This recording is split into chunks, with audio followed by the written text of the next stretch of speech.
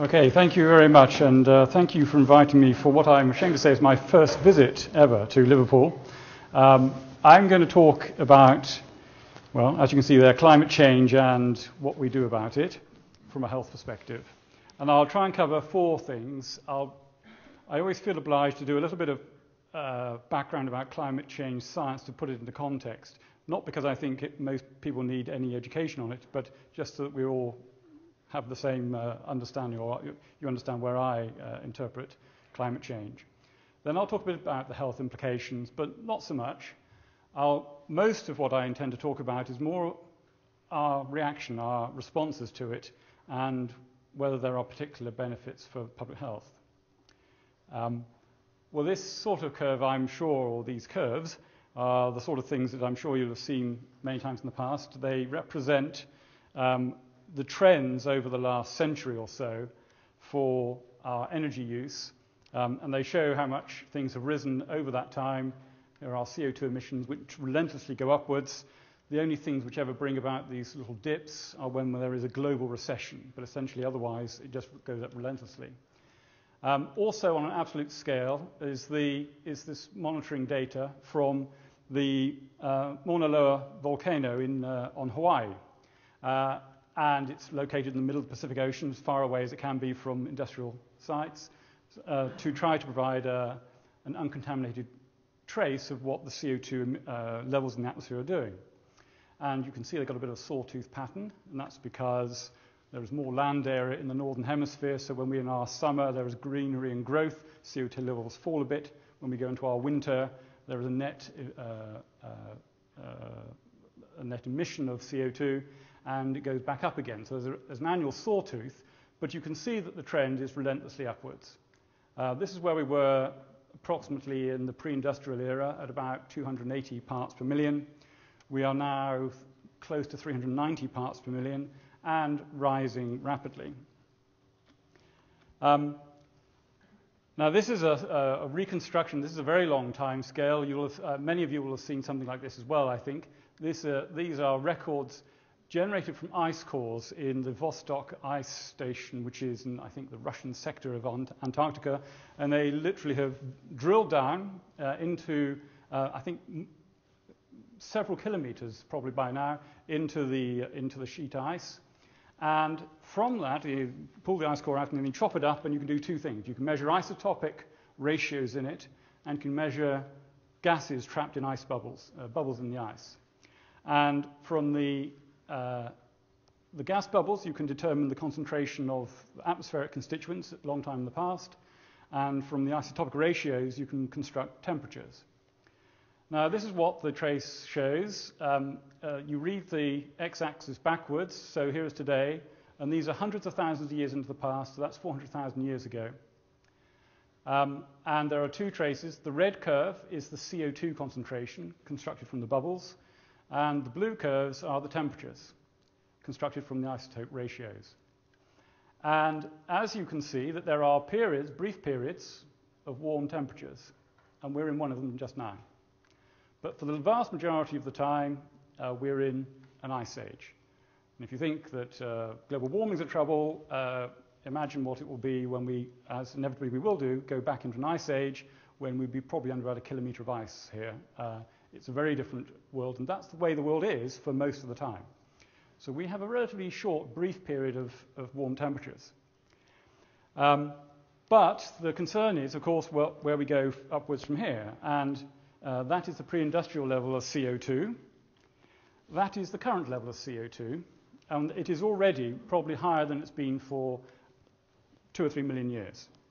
Uh, and if we are incredibly successful we may, hopefully, be able to level off at our CO equivalent levels at around about 550 parts per million. But that's not the trajectory we're on at the moment. Our trajectory will take us way beyond that. Um, and if you add in the, non, uh, the, uh, the greenhouse gases other than CO2, our CO2 equivalent is around about there. So we are already in very uncharted territory. And whatever you think of the, uh, uh your views about the driving force of climate change, this is, this is uncomfortable in that we have, we're in a place that we haven't been um, for a jolly long time, even geologically speaking. Now, one of the other things that you will note about this, and one of the things that people have commented on, is the relationship between the, the red and the blue, between the CO2 levels and the temperature. But of course, if you think about that, it seems strange actually, because why should there be uh, a correlation? Everyone says, well, it's obvious that CO2 levels cause global warming. We know that. But what changed these CO2 levels? Those CO2 levels actually, uh, there's no man, uh, not enough man, to change these concentrations. This is entirely driven the other way around, in fact.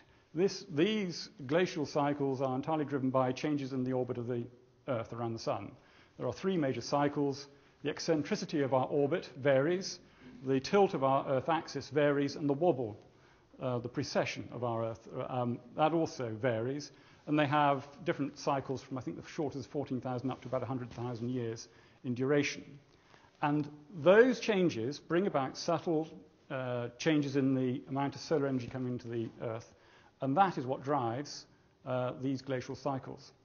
So, in fact, it's slightly, you could argue it's almost slightly more worrying that what must come first here is the, is the temperature and then the CO2. And that's quite credible too, because as you warm up, uh, you thaw the tundra, you, uh, more uh, vegetable matter decomposes, and you get a, a rise in uh, CO2 um, into the atmosphere, driven by temperature. But also, we know very clearly that CO2 is a greenhouse gas. It's opaque to infrared radiation, and we've known that very well since the middle of the last century, uh, sorry, the 19th century, uh, when Tyndall first described this in, based on laboratory experiments, looking at the opacity, essentially, of CO2 to infrared. It's a well-documented, very well-understood uh, phenomenon. If we contract the timescale a bit, um, this is going back just 20,000 years now, and this is where we are today. This is looking at how we have how temperatures have changed over the last 10,000 years or so, 20,000. So here was the, the end of the last ice age. The last, the sort of peak or the end of the last glacial maximum was about uh, 18,000 years ago was about the maximum. Generally thought about 12,000 years ago was the time we started coming out of the ice age. And uh, you can see that we rose quite rapidly in temperatures up to a level where they have been for about 10,000 years. There was, by the way, en route, a little blip here, which is an event known as the Younger, uh, Younger Dryas. And what happened was there was dramatic change in temperatures over a very short period of time when we went from a warming world to a freezing world and back to a warming world within decades.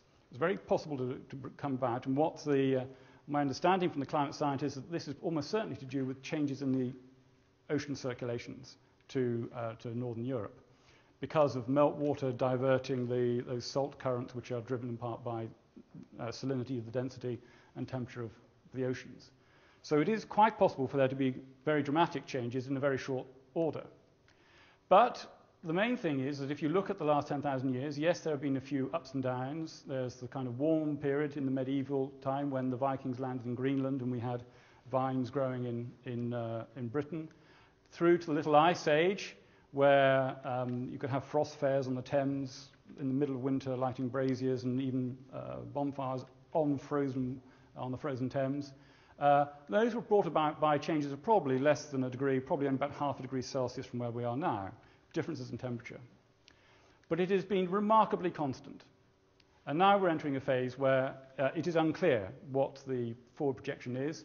This was actually an old projection based on the 2001 International Governmental uh, Climate Change Panel uh, forecast of a central estimate of 2 degrees, 2 to 3 degrees Celsius. But that is a substantial fraction. We are, the difference between the last glacial maximum now is about 4 to 5 degrees Celsius.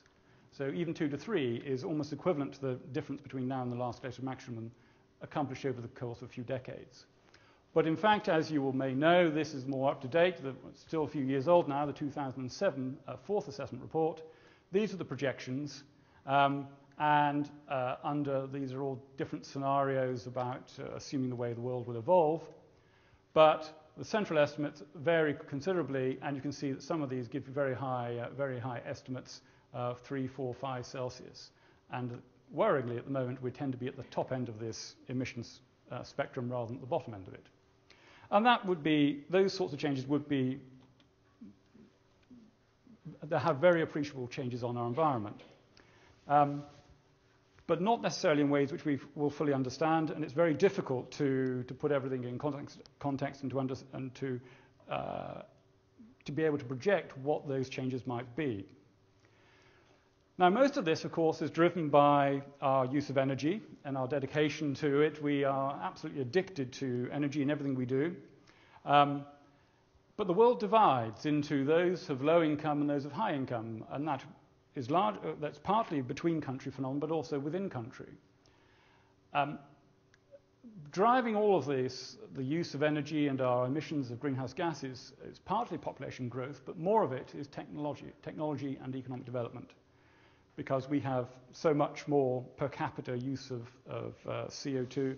Um, and of course, you know, if you go back long enough, when there was no mechanization, with, with no use of fossil fuels, um, even with a very large population, there would not be a problem. Those of us who in the higher income countries enjoy all the benefits of essentially centrally generated electricity, um, we suffer relatively modest uh, consequences of that because the air is a little bit contaminated by the, uh, by the power generation, but generally the, the public health impacts are rather modest. Um, there are some, some environmental, some occupational exposures, but the biggest route is the indirect impacts on climate because of the CO2 emissions. Those in lower income settings, they tend to have poor access to energy. They don't have enough energy, and that has very substantial bearing on their own ability to fulfill their, their, their human potential. It means that they don't have access to all the things which we take for granted that contribute to their, to their health. They don't have refrigeration or access to internet, all those things which I think most of us would find very difficult to live without these days. And because they, they tend to use sources inside their homes, they have extraordinary exposure, many of them, to indoor air pollution because they use uh, biomass, dung, wood, uh, things in the environment which they can use to burn, to cook, and heat with. So the local people have all the disbenefits of not having access to energy and all those that are related to the fact that they burn what is otherwise a renewable resource. Dung and, and wood in the environment tend to be quite renewable, but it, it gives very high concentrations of, of, indoor air exposure. Whereas we, in the highest uh, income settings, tend to have the, the low impacts um, but we are contributing to, dominantly contributing to the global change through uh, greenhouse gas emissions. And we've managed to clean up in the low income, in the high income countries our exposure to the traditional problems that we used to think about. So if you take air pollution, this is, this is the estimated um, PM10 concentrations in world cities.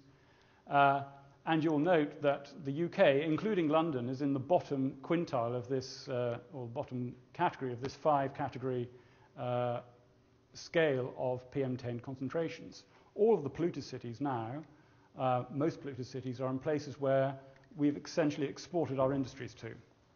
We've exported our production to China, India, uh, Southeast Asia, South America, and elsewhere. And it is those cities which now are serving our needs also carrying our uh, CO2 emissions, but also suffering from the uh, less well-controlled and less regulated uh, exposures to, particle concentrations. Um, and just to show the flip side of this, these are the deaths per million.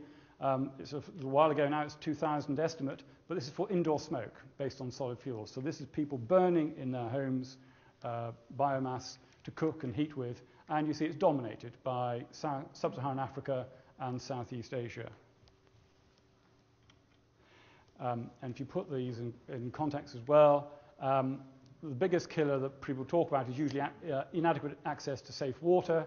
1.73 million uh, deaths annually was one of part of the WHO estimate. Outdoor air pollution, about half that, less than half that, about 800,000. But indoor air is twice as much. So we tend to think about, of air pollution being an outdoor problem.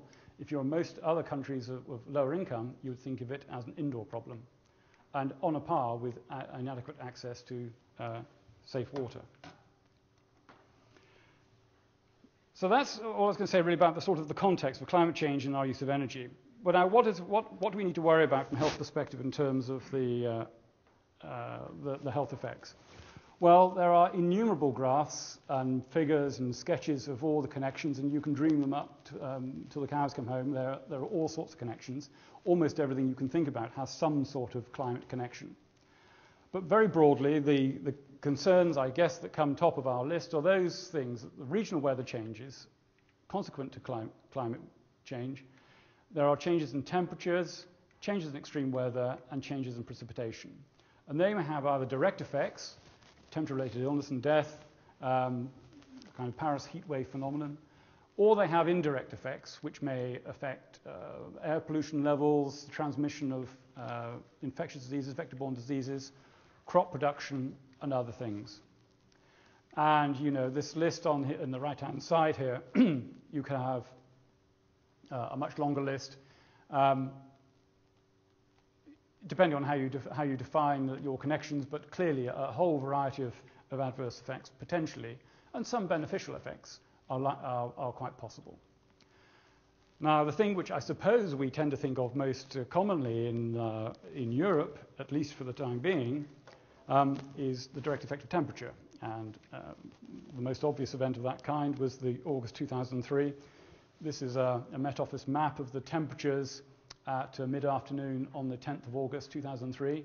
And you can see these, uh, temperature, uh, uh, most of these were at the high end. These were 40 Celsius uh, or thereabouts for large swathes of Europe. Um, and if you'd like to see what it does to health statistics, well, these are data for London. Um, this is the temperature trace here, and there is the heat wave peak itself. Um, and these, each of these, is a, each dot is the daily count of deaths across the year. So this is one year of data from January 2003 to the beginning of 2004. So there's a, a seasonal swing with more deaths actually overall in winter than in summer, but this sharp spike is unmistakable, and that is the, uh, that's the effect of the heat wave in London. And if you do the calculations, it turns out there are about 2,000 deaths from heat uh, during, that, during that year. Now, to put that in context, that's only about a tenth of the annual average number of cold deaths in the UK. So we are kind of obsessed by the heat deaths, but actually, uh, cold deaths for us is, is, is more important overall. Um, and moreover, there are most heat related deaths in the UK occur not in heat waves, but on other days which are just warm. So uh, heat waves are not necessarily the thing to think about. But there is a very clear relationship between mortality, or in fact, a lot of health outcomes and temperature. Um, because I'm from London, I have the easiest access to London data. The, these are, again, late London data turned round. But all this does, this is the temperature distribution, so temperature in Celsius here. This is maximum temperature. Um, and you can see the shape of this curve. And essentially, it's very precisely definable, but using time series methods, that we know from this sort of evidence that if you can tell me what today's temperature is, I can tell you how many people will die and I can tell you within a very narrow margin because it's a very direct and clear relationship between temperature and mortality. And you can see that these are the constant bands around it, uh, and it's pretty precise. We know, we know pretty much what, what's going to happen. And the important implication of that is uh, all you need to know what the public health burden is is a weather forecast. If you know what tomorrow's temperature is, I can tell you there'll be this many deaths. And, uh, and, it's, and it's pretty clear. Um, we tend to simplify. I've shown there what we, what's actually what we refer to as a spline curve. It's kind of allowed to bend, but what we often do is convert that into something which is a bit more like a two-piece straight line graph. And there is a bit where we say there's no heat effect, and then a certain threshold, which is about 25 Celsius, 24.7 for London, um, at which you begin to see the takeoff of heat-related deaths. And at temperatures above that, basically, for every degree Celsius it gets warmer, there is a corresponding increase in, in deaths. Um, and those sorts of curves you can see in almost any population you ever you care to choose to look at around the world. Um, and here are some ones. These are all low to middle income ones, but for example, here's Sofia. Um, so there's a straight bit and a, and a heat slope again there. These are all percentage changes. You know, 100 is the annual average. And here are the temperatures, of course. This is Delhi. This is Bangkok, even a troubled country, it's very have to see, but there's a very steep part of that. And if you look at Monterrey, this is Mexico, uh, not California, um, a very sharp U shape and an incredibly steep part there at a certain threshold. Almost every population you come to look at, even in warm countries, you see those steep slopes. Now, we don't understand exactly what drives those relationships and how and why, but clearly in indicates that there are sensitivities still to populations um, when the temperatures uh, change across the expected distribution, and perhaps more so when they get to uh, uh, unusual extremes. Now, I could go into a lot of different forms of health effects, but I'm not going to. I'm going to comment on just two others because I'd take the whole lecture talking about them otherwise. Um, but things I feel it's worth commenting on because there's often a debate about it. The first is vector-borne diseases. If, you, if we roll back about 10 years, there was a great deal of debate about the transmission potential of things like malaria coming to the UK. And it's all based on this sort of reasoning. These are all curves um, generated, I think, from my own institution, actually, some years ago, based on laboratory evidence. And they relate to various uh, aspects. This is, this is the mosquito itself, how often it bites, and how long it survives. And this is the parasite, how long it takes to be incubated. And they all have a temperature dependence. So the biting frequency more or less goes up linearly with temperature. The survival probability is fairly flat and then falls off a cliff when it gets very high temperatures. And the incubation period gets shorter and shorter in kind of an exponential function as temperature increases. If you combine those, you generate the sort of curve you get here, which is a kind of multiplication or integration of those three you get a transmission potential, which says how likely is it that malaria will transmit, and it has a temperature dependence. Uh, so the greatest, greatest uh, transmission occurs at sort of low 30s Celsius. Um, and from that, they say, okay, well, let's just take, let's say where we are now, and if you say we've got a country down here, the temperatures are, uh, mean temperatures in the 20s, and if under global warming it's going to come up to here, you have increased the transmission potential uh, dr drastically.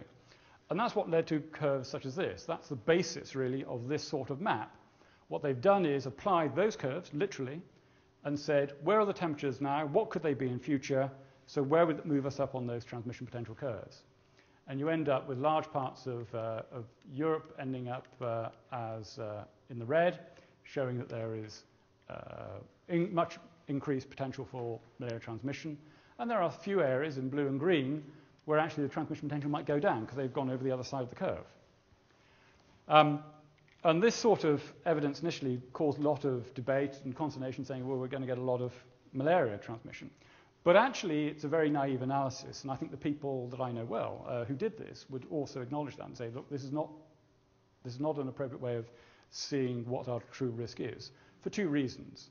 Um, the first of which is that uh, that is a relative change in risk. But if you're applying a relative change to a very minimal risk in the first place, uh, the overall level of change is still may not amount to much. But the secondly, it only takes account of temperature. And actually, the thing which largely drives malaria distribution around the world is not just temperature. We used to have malaria in Europe Germany, Scandinavia. If you read Dickens' novels, his descriptions of fevers and the agues and things, though many of those were almost certainly malaria. We had it in, in Britain not much more than a century ago. It's gone now, not because our conditions aren't suitable to have malaria vectors and parasites, but simply because we've changed our way of living. We've, uh, we've drained the marshy lands where the mosquitoes bred because we now have agriculture in most, in most land. We live in dwellings with close-fitting doors and windows. We don't get bitten. We have good health care. All those things. Our general socio-economic development has meant that malaria has been eradicated, essentially, and the risk is no longer there for us. So those socio-economic factors have dominated and have meant that, we have, that malaria risk has gone away, even though we are actually now maybe half a degree warmer than we were a century ago. And there was an interesting paper published in Nature um, uh, about a year or so ago, maybe eight, nearly two years now, looking at the global change in malaria endemicity over a century. So this was comparing records which could be structured of 1900 with the year 2000 or so, 2007 it looks like. Um, and this is what they constructed the curve for 1900 to look like, and this was 2000, and this is the difference. And essentially, the blue means it's gone down, and the red has gone up. Well, there are very few red areas where malaria has increased, and everything else has gone down. And despite the fact that over that time the, there has been a, a, an appreciable, not large, but an appreciable degree of global warming, um, about half the degree or so. Um, but they looked and tried to work out the different contributions here, and, well, you can read this yourself. The proposed future effects of rising temperatures and endemicity are at least one order of magnitude smaller than changes observed since about 1900. And up to two orders of magnitude smaller than those that can be achieved by effective scale up of key control measures. In other words, the things which we do now to control and the other societal environmental changes that have gone on over the last hundred years, those have had much bigger effects on the distribution of malaria so far than have any temperature changes.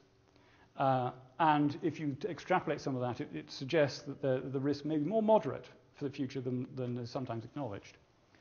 Nonetheless, it's a very, uh, a very debatable area. There are, it uh, raises all sorts of uh, uh, arguments and questions and debates, and it is a complex thing, and I think the jury is just simply out on what the overall impact is.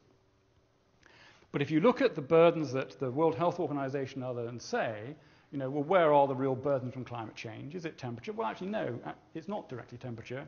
They think the, the major ones are floods, malaria is a big one, diarrheal illness, because simply in a warmer world you get more uh, diarrheal illness, and malnutrition, due, they believe, because of the, the possibility of crop failures from uh, extreme weather events. Um, and there is one other thing which is sort of coming up on the outside track that people are talking about more, which is conflict. Um, a very difficult one to analyze and to, uh, to uh, assess. But essentially, the notion goes that if you put any society in its environmental conditions under some form of stress, there is much more potential for there to be uh, conflict. And this was published in uh, June, July this year, I think, um, and a group from Columbia University. Uh, and they made a correlation essentially between uh, what they refer to, I think, as civil conflicts, political conflicts, I mean, leading to civil strife. Um, so, not the sort of extreme wars, but the uh, civil conflicts um, in tropical countries which are affected by the El Nino uh, Southern Oscillation. That's what ENSO stands for El Nino Southern Oscillation.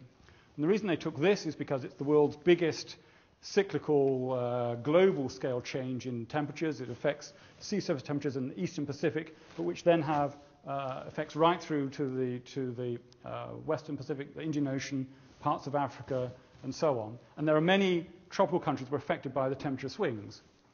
And essentially, the, uh, the, the, key part of this is that the, the brown curve here relates to those countries which are genuinely affected by the, by the El Nino phenomenon.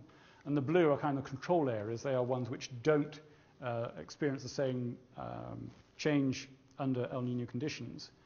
And it plots the frequency of these are um, annual conflict risk. It plots that as a function uh, of these El Nino anomalies. So essentially, this is kind of warmer than you expect against the average, and this is colder than you expect against the average. And there is a broadly straight line function, a bit of a wiggly one, but there is more or less a, a straight line function suggesting that, as they conclude, um, the El Nino phenomenon itself may have had a role in about 21% of all civil conflicts, in the degree that you can apportion these things based on regression methods. Um, but they believe that the evidence provides an important, uh, important marker that stability of modern societies may in part relate to the fact that uh, we have stable climate, stable climatic conditions, which is actually quite unusual in geological terms. The Holocene, that last 10,000 years, has been very unusual in its stability. Um, and we've kind of got used to it, but maybe we shouldn't be so used to it.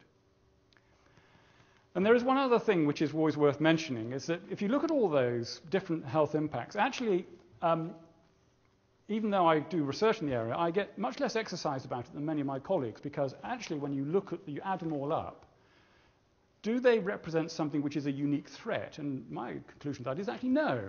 I mean, we already have global scale threats HIV, AIDS, TB, malaria, lack of access to clean water, you know, you name it, millions die already, um, and billions are adversely affected. There is nothing different about climate change that says this is a uniquely, uniquely scaled challenge. But it is different in one sense, in that it has the potential to disrupt societies in ways which are really unfamiliar to all of us, and that may have quite, uh, uh, quite uh, major consequences for all of us. And I like this summary. This is Martin Rees, who's, uh, I think, Master of Trinity Cambridge, who's our astronomer royal. Um, he wrote a book called Our Final Century uh, a few years ago. And one of, the, one of his sentences talking about climate change says if we could be absolutely sure that nothing more drastic than linear changes in the climate could occur, i.e., just marginal changes, we're just slow, slowly warming or whatever it happens to be, it would be reassuring. the small chance of something really catastrophic is more worrying than the greater chance of less extreme events. And those uh, extreme events uh, could negate decades of economic and social advance. And I think that's part of the problem. It's, it's, not so much the things which we can kind of live with. Most of us in the UK would probably welcome a little bit more warmth in the UK, but it's what it might do to the uh, you know, ocean circulations, to uh, collapse of, uh, of uh, species, all those sorts of things which are really beyond our way of, of, of understanding and cannot easily be modelled. So I'm going to turn to the solutions. And essentially, the, the, basic point is here we've got to do something about um, CO2 concentrations in the atmosphere, or equivalent. Now, when it comes down to it, there are, I suppose, I've given six different choices for us. And I kind of show things like this to our students and ask, you know, how would they pick? And I'm not going to do the same to you, but uh, you can kind of say, well, actually, I think we can do a bit of behavior change. Yeah, I'll save us 5 or 10%. And efficiency, oh, yeah, we can get 20 or 30% out of that. And then decarbonize, yeah, we'll do some of that too. And, you know, and they kind of build up the picture.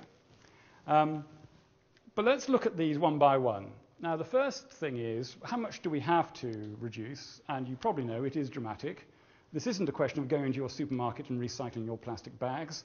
This is wholesale change in the way we use energy.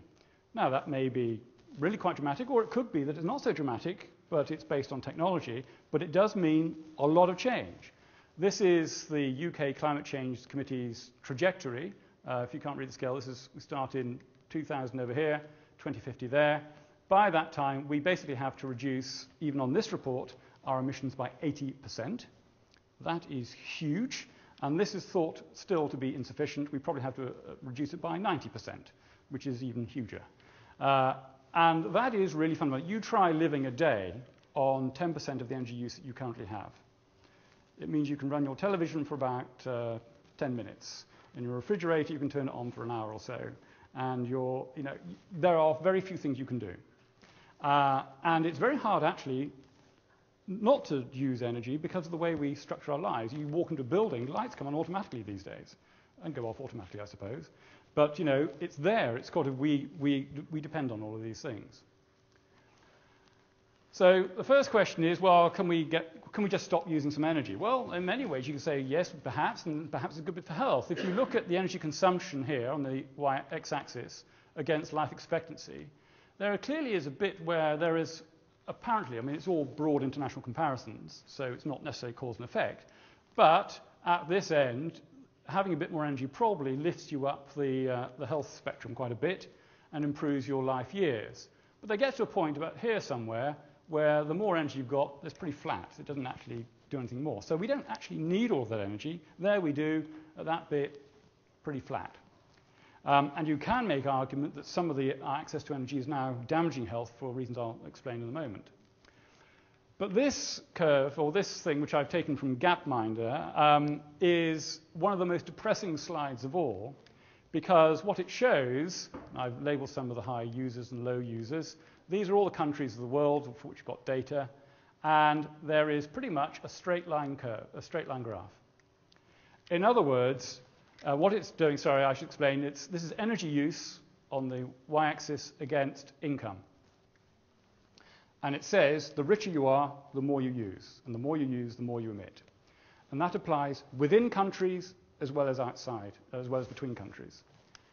And the reason that it's so depressing is because what it really tells you is almost whatever you choose to do, simply because you own the resources that you have, you will emit more you will consume more and emit more. And you may think you can feel good about yourself one day because you say, oh, I'm not going to take that journey or I'm not going to take that flight. And you save yourself £100 or £200 or something or other.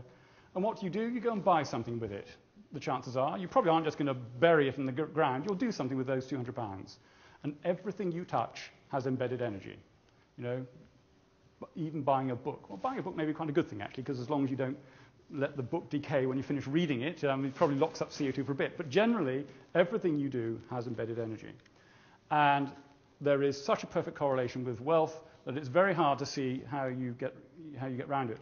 The good point is, and I don't have the slide for this here, but there is a slight tailing off if you have on the y-axis not energy but CO2 emissions, because we have got used to having slightly more efficient use of, of um, uh, energy and its CO2 emissions in the higher income settings. But still, the dominant uh, marker of our emissions is wealth. And I find it very difficult to believe that there are many people who, who we can bring about any really real departure from that unless we change our technology.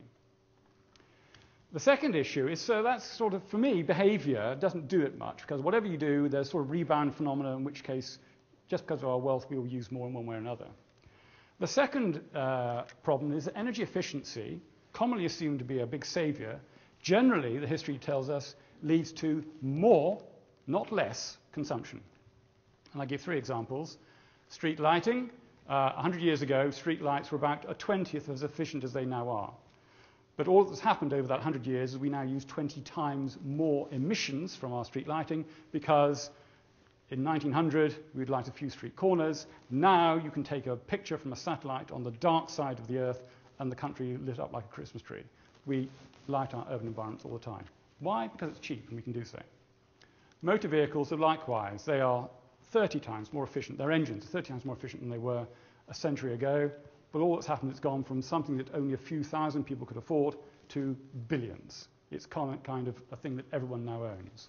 Air travel, likewise. In fact, the, the gain in efficiency of air engines with a modern turbofan uh, is extraordinary by comparison to what it was um, 100 years ago. Much more impressive even than for motor vehicles.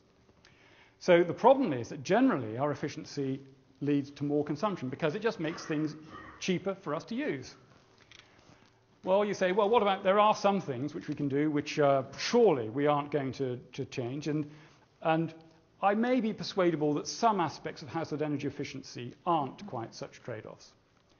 Um, although I'm not even convinced of that, because if you think of the number of devices you now use in the home, it is much more than it was a year ago. When I, uh, years ago, when I was a child, we used to light the rooms in my home with one central light bulb. And, you know, we had a television. Now we have architectural lighting, we have lamps in all the corners and standard lamps and this. They're more energy efficient, but there are now seven or eight of them where there used to be one. And we've not only got a television, we've got a DVD player and a hard disk recorder, and you know, we've got mobile phones and computers and this, and it's endless.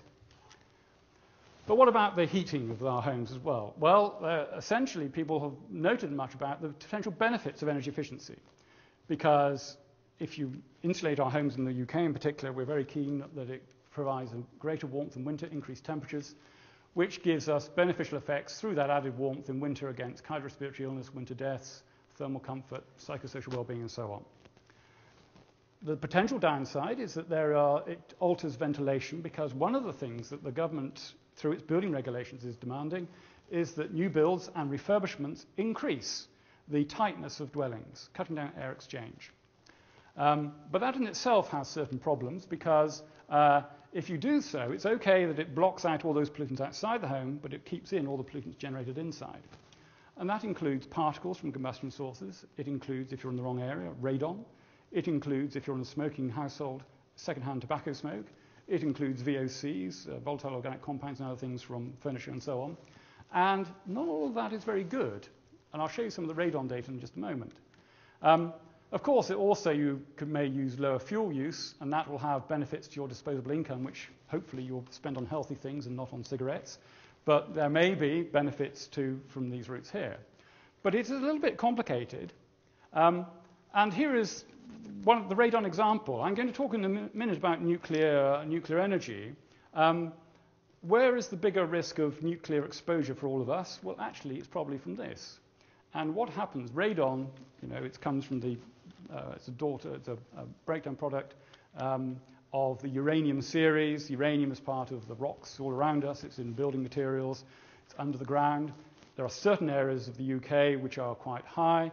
Uh, the southwest, North Midlands, Peak District in particular. There's a bit around here actually.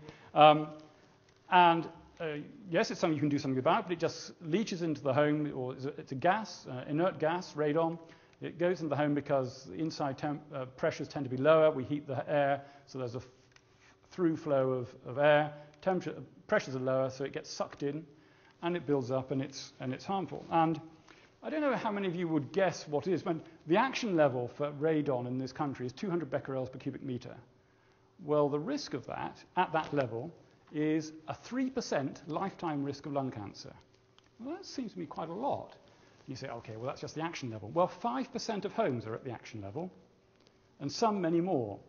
And what we're going to do by sealing up all our dwellings is just literally shift the distribution to higher radon concentrations overall. And actually, if you're worried about nuclear, nuclear uh, exposures from nuclear industry, you should worry about this first, and then worry about the nuclear industry, as I'll show in just a moment. Um, and just to put this in context, this is the proportion of homes above 200 becquerels per cubic meter in the European Union, or rather actually Europe with, with some uh, uh, other ones here.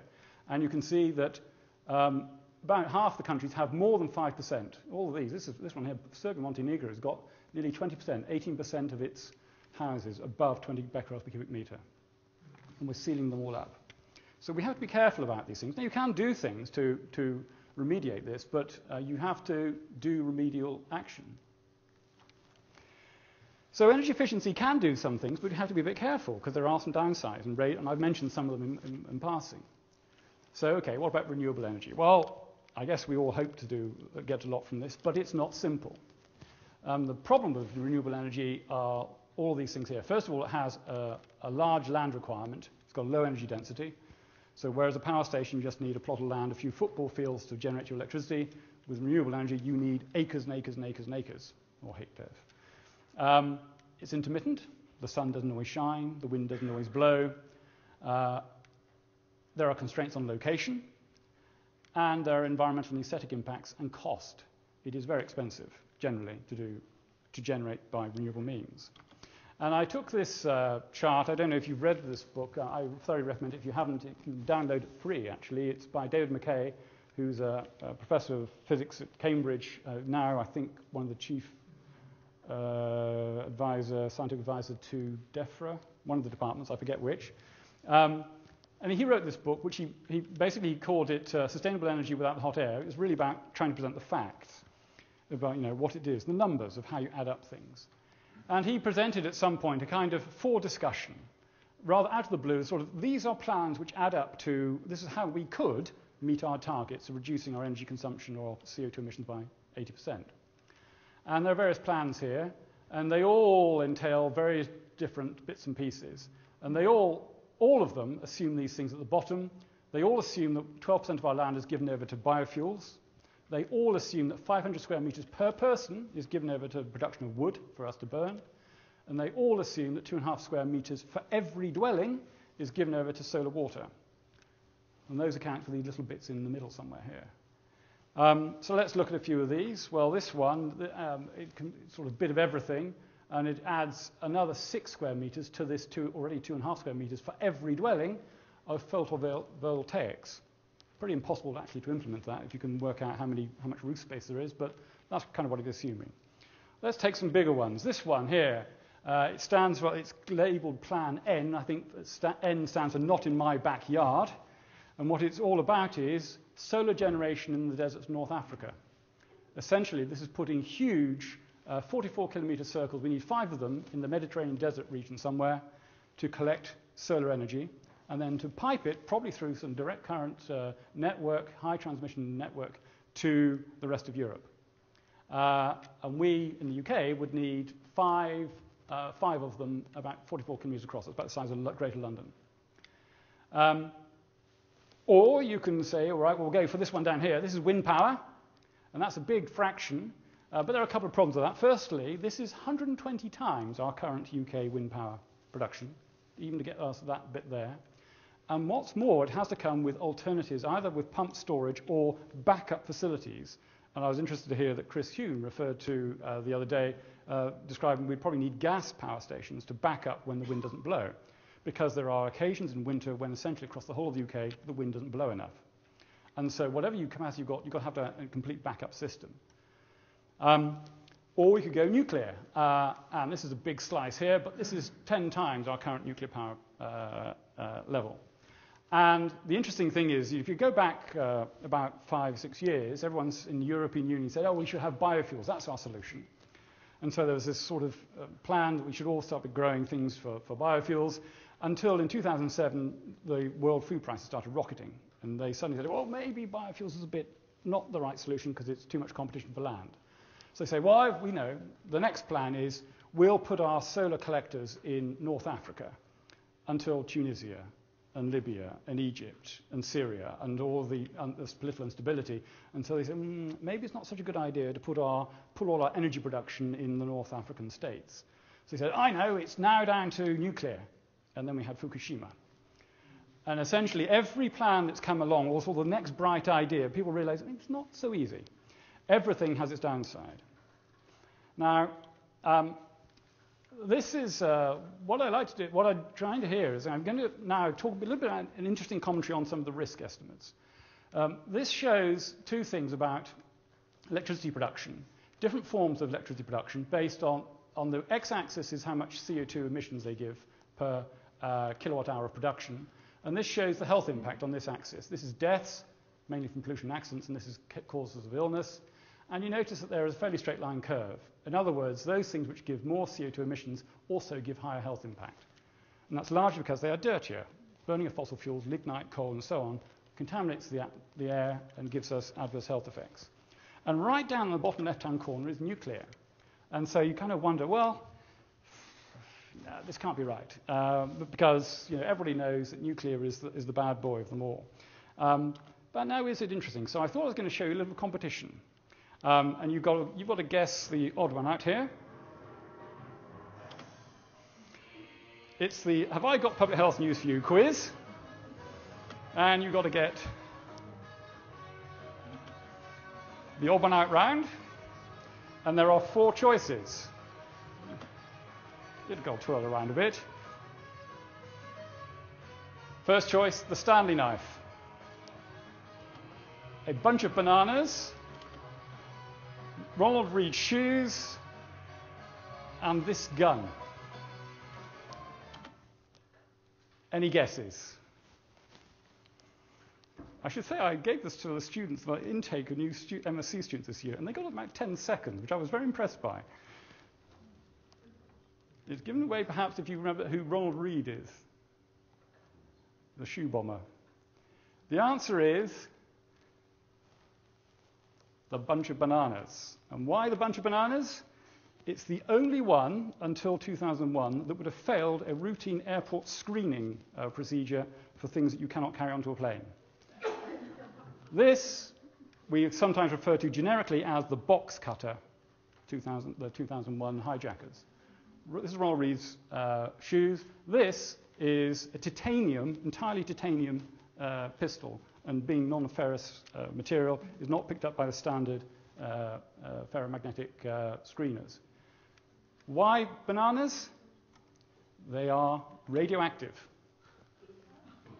Uh, they contain about 0.1 of a gram of potassium 40, and people have even said, oh yeah, we can define this as a banana equivalent dose when you're trying to talk about other things, because it's you know, a useful comparison. And uh, what is it? It's about 0.1 microsievert. Well, let's put this in context. Here is my banana equivalent dose, 0.1 uh, microsievert per banana. Now, I have a banana for lunch almost every day. Uh, from nuclear energy, across the year, you'll get about 0.3 of a microsievert from all the nuclear releases that there are around the world, even with all the cat- catastrophes there have been as well. Living in your house will give you about 200 microsieverts um, from the radon level, but that is higher in some dwellings where there's high radon concentrations, um, and about 600 from gamma from the building materials. And if you go on an air flight, you have about 1.5 to 5 per hour. So, of all those things, nuclear energy doesn't come across really as a particularly dangerous risk. So, background level's not so clear. And by the way, if you think, oh, it must be very different because it must be short lived, well, when the Fukushima went up, the problem, of course, was iodine 131, half life 8 days. Your potassium 40 from my lunch that I ate on the 30th of September when I spoke to the students half-life 1.25 billion years. So it's a, it's a, different, it's a different risk. And, okay, so which of these, coal, hydro, nuclear, indoor biomass, which of those has the lowest greenhouse gas emissions? You guessed it, nuclear. Which of those has the smallest health impact? You've guessed it, it's nuclear. Which of those has been rejected by at least one EU economy? Nuclear. Um, And uh, I, I, went to a meeting in the States back in the summer where a colleague of mine that I work with, he does a bit, lot on indoor air pollution, but he put up this slide, which he, he couldn't resist doing. Uh, deaths annually from indoor air pollution across the world, about 1.5 million. Deaths from Chernobyl nuclear disaster, less than 100, probably about 60.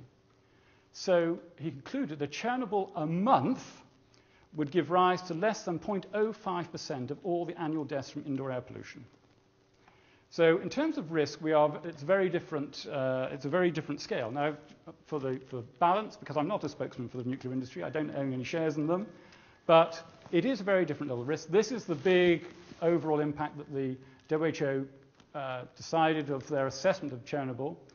And they've had all these different categories of people, the liquidators, they are the people who cleaned up, residents in these uh, control zones and so on, and residents in very low contamination areas. And they said, well, there are possibly these exposures in uh, uh, and these are the annual levels, background, uh, sorry, background levels here. Um, and you can see that some of these are about the same as the annual background, but these are kind of additions.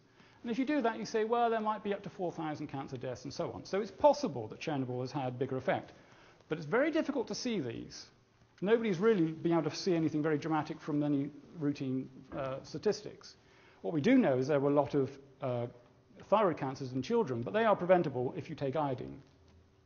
Um, and very few of those have, have, died, they've been cured, essentially.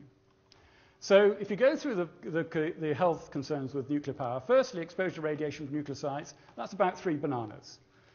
Thirdly, nuclear explosion, you cannot have a nuclear explosion because it is not weapons-grade material in a nuclear power station. It will not explode like an atomic bomb.